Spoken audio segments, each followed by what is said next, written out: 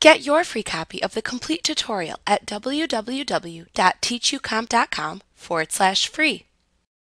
You can select any formula cell or any cell referenced by a formula cell and then trace arrows that point to either its precedent or dependent cells. When you do this, Excel draws blue arrows either from the selected cell to its dependent cells or from the selected cell back to its precedent cells, depending on which button you choose from the buttons in the Formula Auditing button group on the Formulas tab of the ribbon. If the precedent or dependent cells are on another worksheet, then a black arrow that points to a worksheet icon appears instead of a blue arrow. You can double-click the black arrow to open the Go To dialog box, which shows the worksheet cell reference. You can then click the worksheet cell reference and then click the OK button in this dialog box to go to the referenced cell in the other worksheet.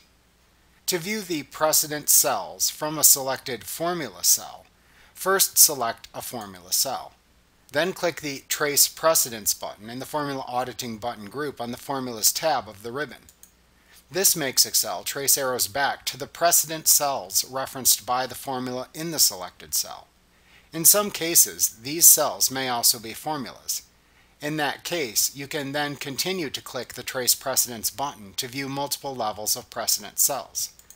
Doing this lets you work backwards to discover which cells are referenced by the formula to perform its calculations.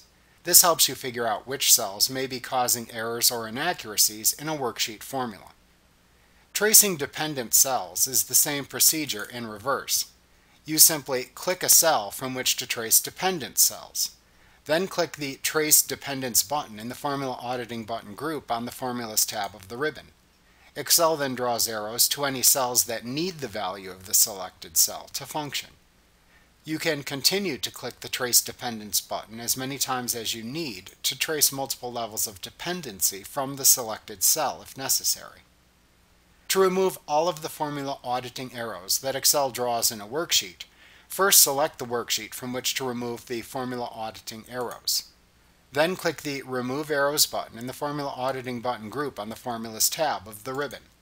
Doing this removes all the formula auditing arrows from the selected worksheet. It is important to note that you must clear the formula auditing arrows separately in each individual worksheet. Alternatively, to only remove the last level of precedent or dependent formula auditing arrows drawn in a worksheet, click the drop-down button to the right of the Remove Arrows button instead, and then select either the Remove Precedent Arrows or Remove Dependent Arrows commands from the button's drop-down menu to remove the last level of precedent or dependent arrows that were traced.